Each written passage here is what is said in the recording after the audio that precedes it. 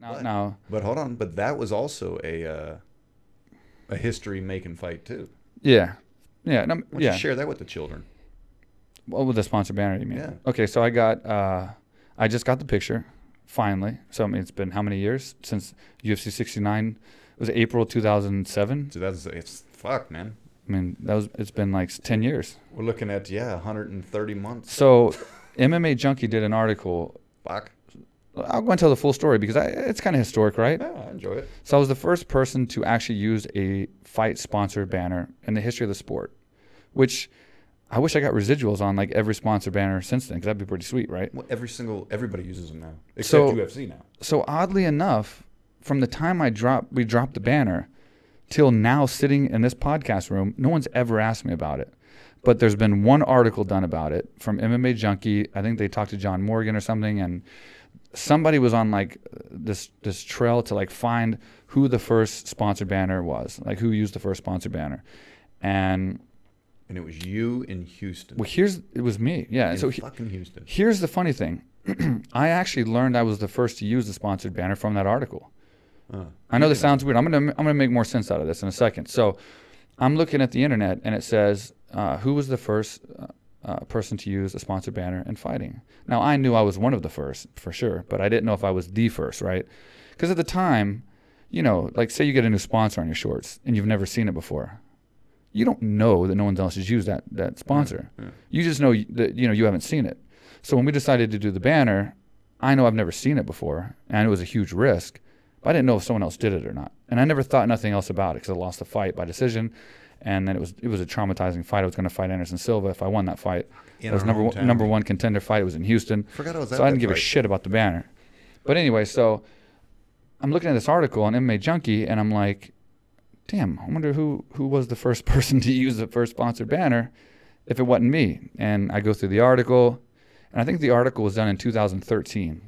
So I mean, it's still been Yeah. four years, So you've been holding this in for four years. and still no one's asked me nothing about it. So anyway, they go through the article and they watched every UFC, every match, and the first time they ever saw somebody drop a sponsored banner was me. And they announced it in the article and they said blah blah blah. And then I started remembering and I'm like, yeah, that makes sense because I remember Jon. Uh, well, Jon Fitch first mentioned it, I think, to Bob Cook, that American Top Team used to drop their team banner, and it said American Top Team. And Bob Cook, we were getting a lot of sponsors at the time. Me and uh, it was me, Koscheck, Fitch, Forrest, Chuck. We we were all kind of dealing with the same management, and um, we had a lot of sponsors. So I think Bob then took it from there and said we should put um, sponsors on the banner. And it was just hearsay, not hearsay, but just talk and like you know, nothing nothing came of it. And then I had the next fight, and I had a lot of sponsors. And I remember Bob came up to me and he goes, "So Swick," and this was pretty close to the fight, mind you. And he goes, "Swick, what do you think about us dropping a vinyl banner behind you when they do the introductions, and we put your sponsors on there, and we'll make you a little bit more money?" What sponsors? Do you remember any of them? It was toe to toe, Sprawl, Renegade Fightwear, and Pain Incorporated. No Condom Depot. No Condom Depot. Did you ever have Condom Depot? Nope. So uh, I remember thinking to myself, well, the first thought I had was, and, and I hope I'm right about this, but I remember that I think Ricco Rodriguez, at one point in the early days, uh, he wanted to put a I don't know if he wanted a banner, and he didn't want a banner. Actually, that was it wasn't a banner, but he wanted to put a big uh, tattoo on his back, like a painted was the hentai or whatever, of uh, uh, Golden Casino something dot com dot was net. Ricco Rodriguez. Yeah, it was one of the first Yeah. like uh, like gambling online casino things, and I remember he was trying to do it or something, and then Dana put a stop to it, but it was somewhere else. It was they banned that sponsor for whatever reason, and he was trying to find a way to go around the system, and so he ended up putting it on his back, and no one knew, and then he walked out and he fought with it. And I believe Dana lost his shit, and the UFC got pissed and fined him and all this stuff. So that's all I thought about at that point, right? I'm thinking like, dude, you drop a fucking vinyl banner behind me, and like, I'm gonna get fucked for sure. I can kind of block that out though. Well, it was so close to the fight, and I'm thinking like, I mean, I, it took me a second to think about it. To be honest, it wasn't like an instant answer, and then and then Bob's like, well, I mean, what can they do? What's the worst they can do? You're already out there. You're gonna fight. I'm like, well, they can find me. They can kick my corner out. I mean, I didn't want to come back. to a point. you I didn't want to come back after the second round and no corners there because Dana's like, you know, what the hell were you guys doing? Get out of here. You don't listen to them anyway. But I had a good relationship with Dana, and so I think that's the only reason why I said, "Cool, let's do it." Because I'm like, I get along really well with Dana. We've done a lot, a lot of PR together. So I'm like, at worst case, he's going to come to me and say, "Swick, what the hell are you doing? Like, really, you're going to put a banner without asking me?" Well, see, what's crazy is when you fought at 189, the last fight, you were able to use a banner, Yeah. right? Yeah. No, no, no. No, I didn't. That was the f- so I was on the first. So I was the first guy to actually use a sponsored banner, and I was on the first card that the UFC stopped using banners. Yeah. So the fight before that, I went, I went with you, went backstage. I actually took the banner to go get it checked. You remember that? Oh, that's when I was getting reamed by the guy. Yeah.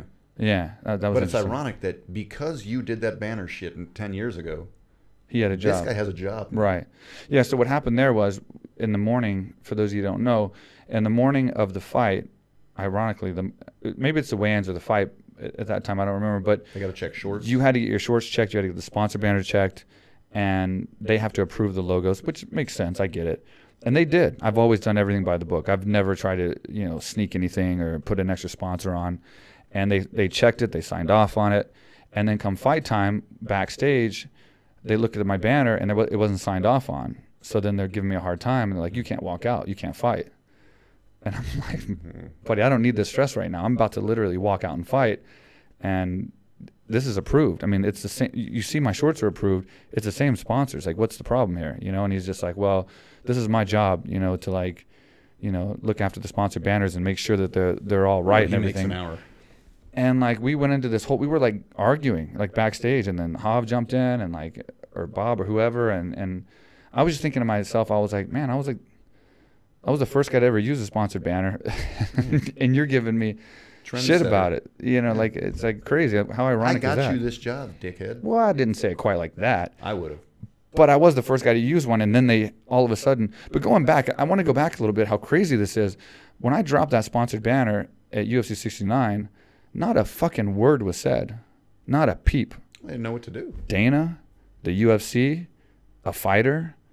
Not a single person said a single word to me. They didn't ask a question. They didn't say, you know, why did you do that? How did you do that? Did the UFC approve it? Did you get in any trouble? Not a single word was said.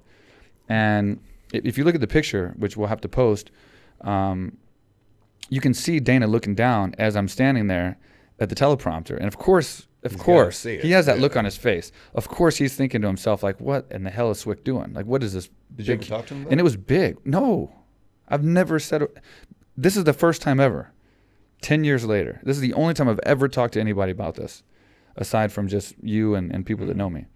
Not a single reporter's ever asked me for my. Even after that article came out in 2013 from MMA Junkie, they never called crazy. or got my my. You would think they'd want to know like, why'd you do it? Did the UFC tell you to do it? But immediately following that fight, it became the thing to do. And again, no one ever Every said anything. Every single person. Every world. fight. The next card had a few more Boxing did it. then a few more, then a few more, and then pretty soon it was like everybody was doing it. And then after that, the K1. UFC had a whole division for it. Like it started becoming like a, they had a whole like sponsorship department that like checked the sponsors and uh, you had guidelines and forms you had to fill out and everything. And I'm just like, people. wow. If y'all are listening, y'all better thank Mike for that because I'm sure they're getting paid decent. I'm sure somebody would have figured it out either way, but it's just weird to me that like you did it. it's still weird to me that to this day up and you know no one's ever asked about it. That's the strangest thing. Edison was the first to do what a light bulb or some shit. Not to say anybody ever would have done it, but he was the first. You're the Thomas Edison of It's the a UFC. little, a little bit different. A little bit different. I'm just trying to shine some light on the subject. Yeah, That's a light bulb joke, Mike. I get it. I get it. But uh, yeah, so I mean, there's that. You know, it's uh, it's cool. I'm gonna post that picture soon. Now that I just got it, I've been busy with this fight card and everything. But uh, yeah, I mean, that's that's uh, it's historic, I guess. You know, Yeah. I want to make like a duplicate, like a remake of that banner and put it at the gym. We already got so much stuff going up there. Mickey Rourke and like Mark. Yeah, where's, where's our shit from Mickey Rourke? oh yeah, that should be coming in soon. If not, we can make a small banner. We don't need the fucking 11 by 11 foot banner. We just do a nah, small we'll, one. Nah, we'll, yeah. Just old school stuff, you know? Yeah. Maybe let this fella do it. Real quick, real quick, real quick with Mike Swick.